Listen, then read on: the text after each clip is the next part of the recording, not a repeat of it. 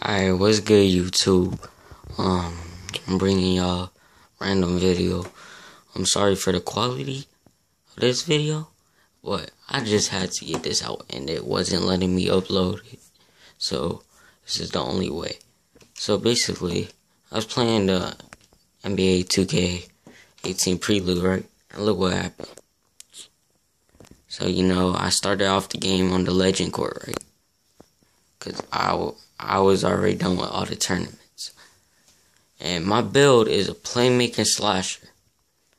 So, just just look. So I do a little BB glitch, then boom. I feel like that's the first Spider-Man dunk in 2K18.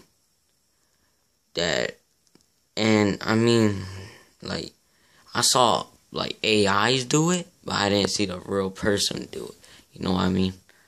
But, and yes, I know I haven't released the code yet. I'm not gonna be doing that. Now, the thing about it, I'm not gonna be releasing a video. Um, I got an idea from a random person.